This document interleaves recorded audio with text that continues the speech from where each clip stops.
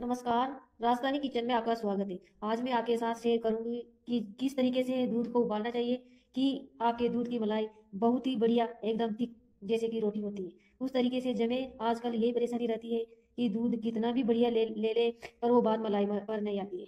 उतनी अच्छी मलाई निकल कर नहीं आ पाती या फिर कम निकलती। आज मैं आपके साथ टिप्स एंड टिप्स फॉलो कर रही हूँ कि अगर आप अपनाएँगे तो दूध में मलाई बहुत ही बढ़िया निकलेगी।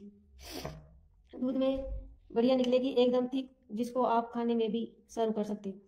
तो चलते हैं वीडियो की तरफ़।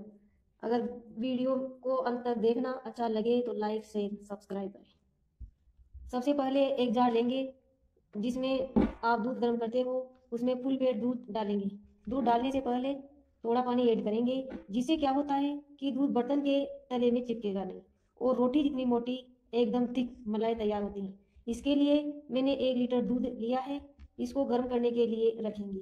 इसमें एक बात का ध्यान रखना होगा कि मलाई निकालने के लिए जो दूध गर्म करेंगे, उसमें से कम से कम आठ घंटे तक दूध नहीं निकालेंगे। तब उसमें डेढ़ इंच जितनी मोटी मलाई निकलती है, अगर दूध को छेड़ देते हैं तो मलाई कम निकलती है। यही समस्या सभी लोगों के साथ होती है।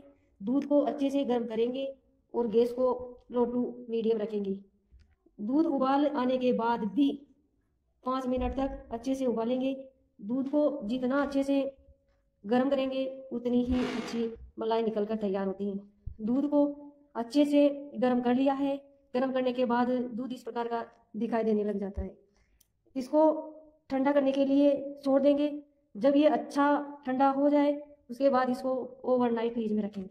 क्योंकि ये जितना ठंडा होगा, उतनी ही अच्छी मलाई तैयार होती है। तो इसको ओवरनाइट के लिए फ्रिज में रख देते हैं।